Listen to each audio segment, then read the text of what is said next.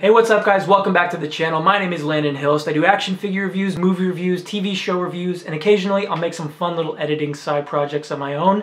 If it interests me, you can bet I'm going to talk about it. And today we're coming at you with an action figure review. Now this one's going to be special because it is only my second action figure review. The previous review being on the Galaxy's Edge 3-pack that I got at well, Galaxy's Edge. And that was an awesome review, but it was early in the process and I didn't quite know how I was gonna shoot it, how I was gonna light it, what the framing looked like for the characters. Uh, obviously this is more of the standard intro style, so I've got that figured out, but I'm coming at you with a review today for Doctor Doom. Now this is a figure I've wanted for forever. I've wanted a Doctor Doom in my figure collection for a while. Uh, but I just didn't like what I, what was available to me at the time. And I saw this guy was getting put out in early 2020. It's March 1st as of the recording of this video. And I was just out and about shopping today and I got really lucky at a GameStop. I found him, picked him up, really lucky, super stoked to have this guy. And it's funny because I actually put in an order for him on Amazon about a week ago. But obviously he's just now hitting stores and I got really lucky today, picked him up. So yeah, without further ado, let's get into the review and let's crack open this Dr. Doom.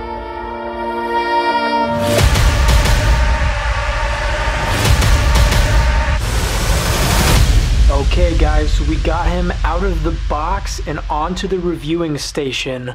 And man, oh man, this is a good one. This is a really spectacular figure. Just looking at him visually right now, I'm actually blown away by the profile of this guy.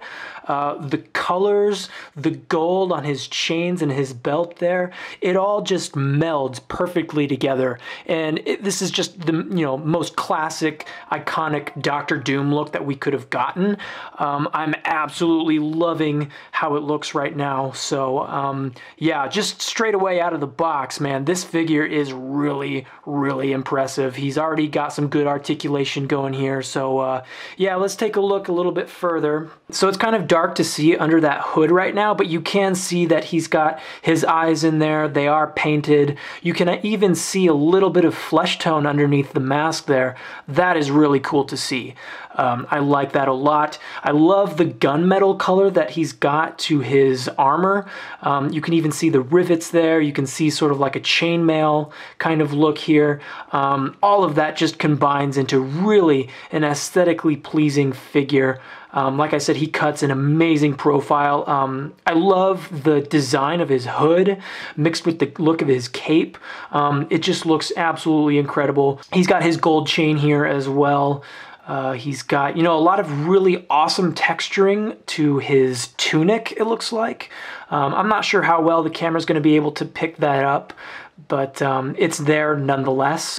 Taking a quick look at the back of the figure, we can see that that texturing carries on throughout the entirety of the fabric pieces that are on Doctor Doom here, even all the way up into his hood, down his cape, and then on his tunic. All of that texture remains there. Um, we have that metallic color for his biceps and his, uh, his forearms here. Even on his fingers, he's got rivets there. Um, there's just a ton of detail on this guy and I'm blown away by it. On this side, it's the same thing. He's got an open hand. He's even got the buckles down here on his feet and on his legs. Um, that detail even carries on down into the feet where he's got his jet boosters and there's a little bit of a hole peg to put a, uh, a standing um, peg or what I'm, what's the word I'm looking for? One of those things where you, you you're able to, uh, a posability stand, that's what I'm looking for. He's got the peg holes at the bottom of the feet so you can do that if you want to. I don't really have any equipment like that. It's just kind of freehand for me. But anyways, getting back into Doctor Doom here, yeah, I think this is probably one of the most well-detailed figures in my collection right now. Uh, I'm absolutely loving the way that this guy is looking. Okay, so for the articulation, it's kind of standard for a 6-inch action figure, but what really makes it stand out for me is the fact that Doctor Doom is such an armored up character, um, mixed with the you know kind of softer plastics we have going on for the tunic pieces.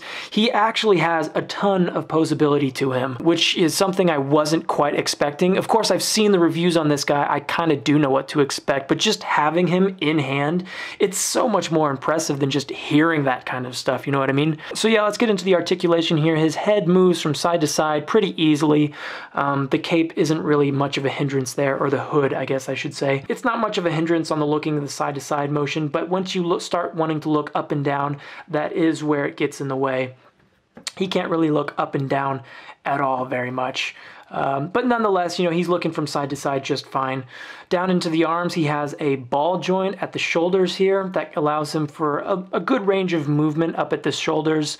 He's got the double jointed arms, so if we give him in a flexing position here, he's able to go up at least 90 degrees, no problem, um, which, like I said, for an armored character is actually kind of impressive.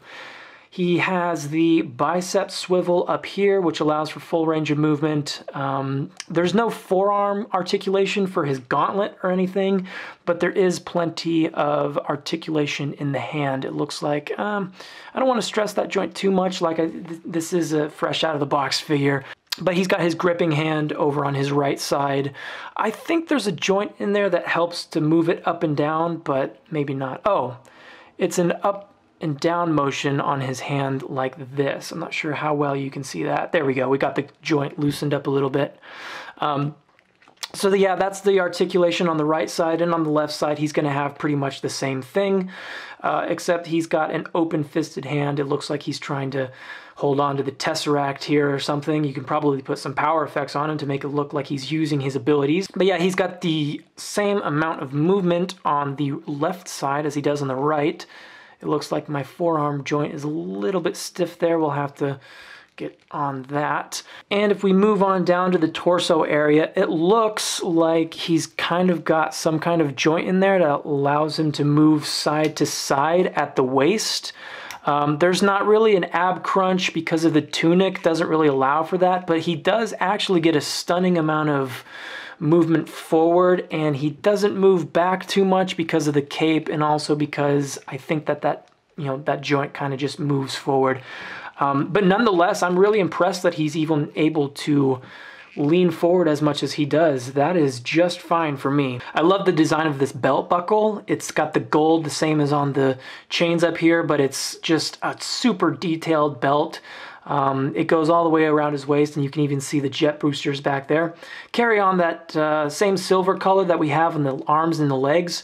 It's just a nice little way to tie everything together. He does have a peg for the cape, so that cape kind of stays in place a little bit better. Um, and then, yeah, moving on to the legs, he's got that same amount of detail, just all of these rivets and these these buckles and just the shininess of it all. The armor that he's wearing is just so good.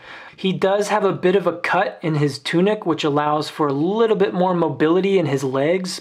Yeah, like I was saying, there is going to be a little bit of a hindrance there because of the nature of the plastic that is holding everything together, but that cut is really appreciated and is really nice to see. Um, moving on down to the knees, we have double jointed articulation there. That's great for an armored character like this. I love to see that. And it looks like the joint is fully complete. Um, there's no weird gappage or anything. Same thing with the elbows, in fact. Um, he's got a little bit of a plate there on the back of it. It just ties the look of the figure together, makes it look incredible. And then moving on down to the feet, he's got pretty standard articulation there. You've got some side-to-side -side pivoting motion there. There's a pin in there that kind of holds the ball joint together. Um, his feet can move up fairly far. I'm actually really pleased with to see that. Um, the feet can also move down quite a ways too, and of course it's the same articulation on both sides. So I'm really loving the articulation of this character. It's really stunning. Um, whatever you need Doctor Doom to do, you know, he's not going to be in the most dynamic of poses, but he is going to be able to stand there, look menacing, no problem. I'm kind of more of a sucker for vanilla posing my action figures. Um, I, I, do like the occasional dynamic pose for them, but overall, I just think it looks impressive just sitting there. But yeah, now that we've taken a closer look at this guy standing up, let's get into a little bit more of his accessories. Okay, so I did manage to get that gun holster undone, and he does carry his Luger pistol with him. And there's a bit more of a close-up on the gun. It is kind of like the German Luger style pistol uh, which works perfectly for Doctor Doom because he is from like a Eastern European country, fictional country called Latveria, so that works just fine for him. Now this is one of the earlier Build-A-Figure waves of the 2020 year, and this is the Super Skrull Build-A-Figure left leg. Um, Super Skrull's a really interesting character, but I kind of just pick and choose the Marvel Legends that I pick up, and I really won't have need of this thing. And once I accumulate enough random Build-A-Figure pieces, I like to just sell them on eBay. Um, so yeah, I don't really need this, but it's good to see, and you can catch some other review of the Build-A-Figure in its entirety.